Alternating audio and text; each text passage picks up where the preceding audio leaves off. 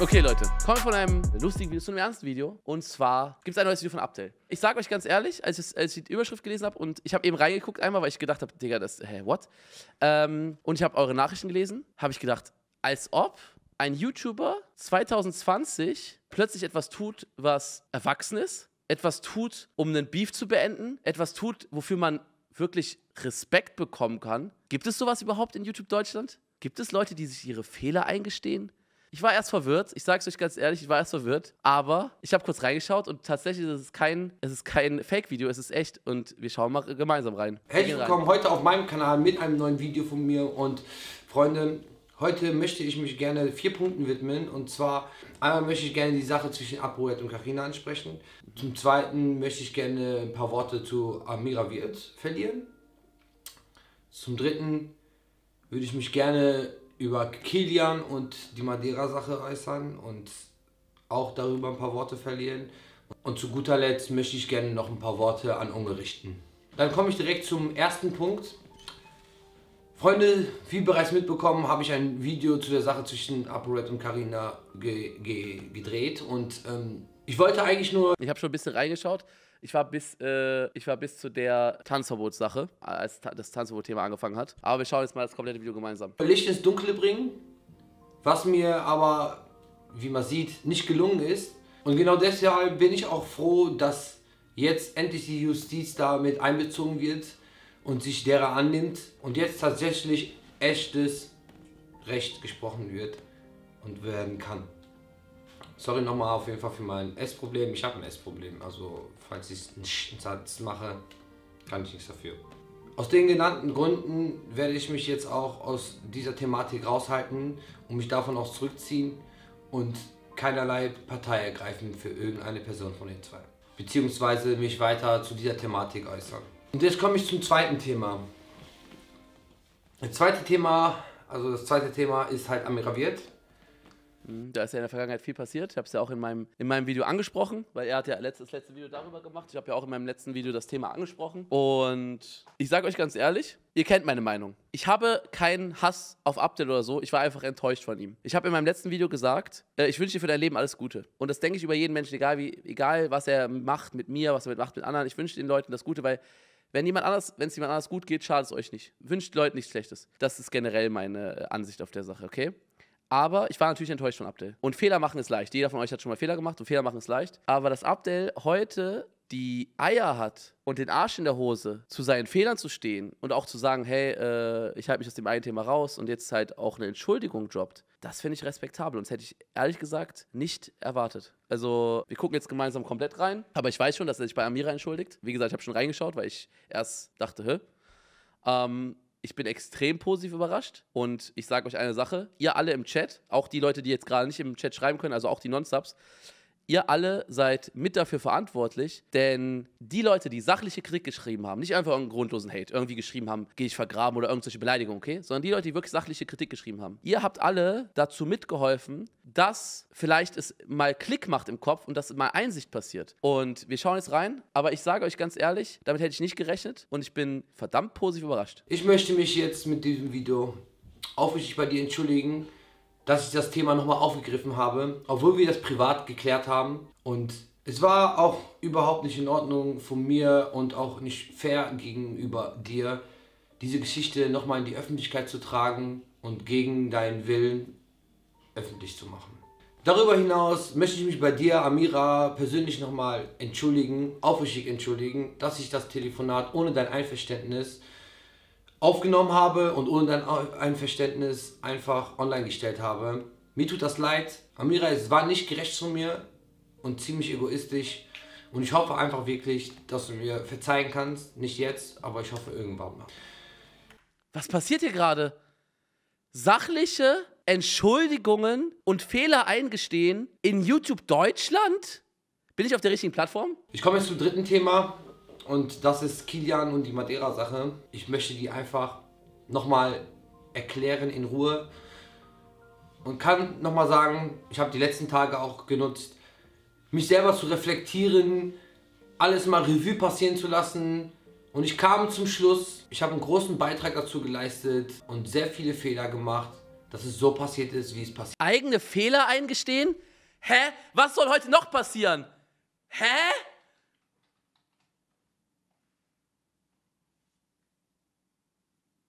Okay, wir wissen, eine Sache wissen wir. 2020 ist wirklich das Jahr, in dem die Welt untergehen wird. Wir haben, heute, wir haben in diesem Jahr schon viel erlebt. Corona, Waldbrände, fast Kriegserklärung zwischen äh, USA und, äh, und, äh, und anderen Ländern. Und jetzt ist das passiert, womit niemand gerechnet hätte dieses Jahr. Ein YouTuber, der Fehler gemacht hat, steht öffentlich zu seinen Fehlern, entschuldigt sich öffentlich und steht, sieht seine Fehler ein. Iran, genau. Ich dachte erst Russland. ich wollte aber nicht dann Russland sagen, weil ich war mir nicht sicher, Iran. Äh, USA hat, hätte fast Iran-Krieg angefangen, weil dieser eine äh, Kriegsminister da äh, erschossen wurde. Digga, what?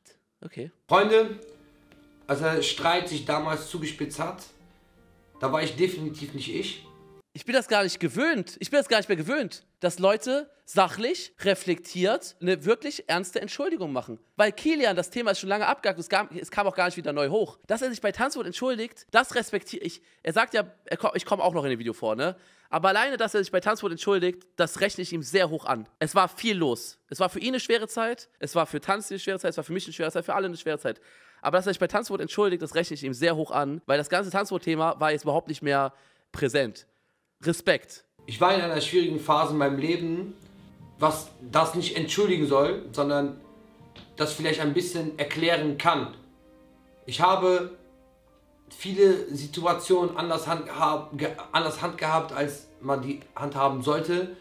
Und ich war einfach nicht ich. Ich war nicht bei Sinn. Ich habe die letzten Tage das Revue passieren lassen und habe gesagt, warum geht es mir denn immer so schlecht und warum fühle ich mich denn immer noch schlecht? Und habe einfach gemerkt, dass alles in der Vergangenheit liegt. Also alles diese letzten Zeiten, da wo, wo wir Madeira waren, das hat mich einfach belastet und genau das ist das. Wenn ich mir jetzt die Videos angucke von da, von der Zeit und, und, und oder wie ich reagiert habe, dann schäme ich mich. Ich schäme mich dafür, dass ich so reagiert habe, wie ich reagiere. Ich erkenne mich da nicht wieder. Ich schäme mich. Also ich muss sagen, das ist nicht so eine Leon Mascher Wischiwaschi-Entschuldigung. Er gesteht sich wirklich Fehler ein, sagt, ich schäme mich für das, was ich getan habe. Und sowas zu sagen vor laufender Kamera, vor Leuten, die das sehen werden, ja, das ist nicht einfach. Ihr wisst es selber, jeder hat mal Fehler gemacht. Und sowas sich einzugestehen und wirklich zu sagen, ich schäme mich für das, was ich getan habe, das erfordert sehr viel mehr Stärke, als man äh, manchmal glaubt. Wirklich Respekt. Ich bin gerade ein bisschen gerührt, muss ich sagen. Ich bin gerade wirklich ein bisschen gerührt und ich freue mich sehr über die Einsicht und über, über das, was Abdel sagt, sage ich euch ganz ehrlich. Und ich sage euch ganz ehrlich, ich war sehr enttäuscht von Abdel, weil ich habe meinen Arsch hingehalten für Abdel, ja. Ich habe meinen Rücken hingehalten, ich habe ihn, ich ihn supported sozusagen. Und damals wurde ich so, ja, sehr enttäuscht. Und ich war, ich wollte mit Abdel nichts mehr so zu tun haben und so, weil ich auf sowas gewartet habe, auf eine, offen, auf eine öffentliche Klarstellung. Denn das Ganze ist öffentlich passiert und Abdel hat sich bis jetzt nicht dazu geäußert. Und das finde ich sehr respektabel. Und es bedeutet mir auch sehr viel, dass er eben auch sich bei Tanzwut entschuldigt, dass er auch sagt, er hat sich für sein Verhalten geschämt. Weil ich weiß auch, wie, wie Tanzwut, äh, wie enttäuscht Tanzwut war und so. Und auch, dass er sich bei Amira entschuldigt und sowas. Okay. Ich bin nur gerade sehr überrascht, weil sowas kenne ich eigentlich von deutschen YouTubern nicht. Normalerweise wird immer um den heißen Brei herumgeredet und gesagt, ja, nee, ist, ich war das ja auch gar nicht und dies und das und so. Wisst ihr, was ich meine? Ich denke mir beim Schauen, WTF, wer ist das? Und das bin ich nicht und das war ich auch nie. Aber ich kann es mir nur erklären, dass ich mich einfach nicht mehr bei Sinn war. Also ich habe mich, ich war, ich war nicht mehr bei Sinn. Aber ich bin froh, diese Phase meines Lebens endlich überwunden zu haben und einfach wieder ich bin. Also wie soll ich das erklären? Ich bin einfach endlich ich und habe diese Phase hinter mir gelassen. Doch ein wichtiger Baustein in dem Ganzen fehlt und zwar Kilian. Ich möchte mich einfach aufrichtig bei dir entschuldigen tut mir leid, was ich dir angetan habe und tut mir leid, in welche Lage ich dich gebracht habe. Und definitiv muss ich mich auch für mein Verhalten gegenüber dir entschuldigen. Und das tut mir einfach leid und ich hoffe, du kannst mir irgendwann mal verzeihen. Und im gleichen Atemzug möchte ich auch Unge. Okay, bevor er zu mir kommt, überlegt euch mal, das, Tan das Tanzwort-Thema ist ungefähr ein halbes Jahr her fast, ne? Überlegt euch mal, wie lange es in ihm saß und wie lange es vielleicht auch an ihn gefressen hat und so. Und dass er jetzt, auch nach meiner Kritik natürlich, ist, vielleicht war auch erstmal diese Kritik notwendig, aber dass er jetzt das wirklich so sagt, da können sich einige YouTuber ein Beispiel dran nehmen oder generell Personen der Öffentlichkeit. Auch wenn Abdel viele in der Vergangenheit viele Fehler gemacht hat, sagt er selber. Aber so ein Statement ist das, was ich mir von sehr, sehr vielen Leuten in der Vergangenheit gewünscht hätte, die ebenfalls Fehler gemacht hatten. Und Abdel hat heute einfach Mut bewiesen, dass er es einfach sagt. Das finde ich sehr stark. Alles braucht Zeit im Leben und das ist so. Bei manchen Leuten geht es schneller, bei manchen Leuten dauert es länger. Und wenn Abdel jetzt eine Zeit dafür brauchte, auch erstmal, ähm, ja, das Thema vielleicht selber auch zu verarbeiten und so, ist es okay. Ich bin der letzte Mensch, der jetzt weiter drauflegt und grundlos sagt, nee, Abder hat aber damals mal einen Fehler gemacht. Ja, Abder hat viele Fehler gemacht. Das habe ich auch in meinem letzten Video öffentlich äh, kritisiert. Aber ich hätte nicht gedacht, dass er jetzt so zeitnah zu seinen Fehlern steht. So, jetzt bin ich mal gespannt, was du auch zu mir sagst. Vielleicht, vielleicht, fängt, vielleicht sagt er noch was. Vielleicht sagt er noch was Böses zu mir. Mal gucken, wir gucken rein. Und im gleichen Atemzug möchte ich auch Unge Entschuldigung sagen. Entschuldigung dafür, dass du in diese Lage gebracht worden bist und ich dein Vertrauen missbraucht habe. Ich sehe und ich weiß jetzt auch, es war nicht richtig. Im Gegenteil, das war absolut falsch und das habe ich jetzt auch eingesehen. Und dafür möchte ich mich einfach aufrichtig für, bei dir entschuldigen. Und ich hoffe, du kannst mir verzeihen und kannst irgendwann mal vielleicht mit mir einen Kaffee trinken gehen. Und nochmal ein paar Worte. Vielleicht mit mir einen Kaffee trinken gehen. Abdel, wie gesagt, die Entschuldigung an mich es ist schön, aber was mir noch viel mehr bedeutet, ist, dass du dich bei Amira und bei Kilian entschuldigst in diesem Video. Das bedeutet mir sehr viel. Das bedeutet mir sehr viel. Ich will mich auch hier direkt stellvertretend für viele YouTuber, ich hoffe, die stimmen mir zu, bedanken, dass du deine Plattform bietest, um Sachen zu klären, dass du äh, versuchst immer gerecht zu sein zu den Menschen, äh, fair zu sein, mir auch die Chance gegeben hattest, und ich möchte einmal bedanken, was für ein großes Herz du hattest, als ich da war. Du hast mich mit offenen Armen aufgenommen. Es war super und du warst sehr, sehr mega gastfreundlich. Ich schäme mich bis heute, dass ich diese äh, Gastfreundschaft nicht richtig geschätzt habe. Ja, und ich hoffe einfach, dass wir uns in Zukunft wieder annähern können. Ein letztes Wort noch, Unge, bevor das Video ähm, vorbei ist. Deine Kritik hat mich zum Nachdenken gebracht und ich möchte mich nochmal aufrichtig entschuldigen bei den Menschen, denen ich Unrecht getan habe oder die durch mich in eine missliche Lage gefallen sind. Es tut mir leid und ich hoffe, ihr könnt mir verzeihen und ich hoffe, auch Unge sieht das Video und kann mir eine zweite Chance geben und meine Entschuldigung auch annehmen. Ich danke euch, Leute. Wir sehen uns das nächste Mal. Große Liebe.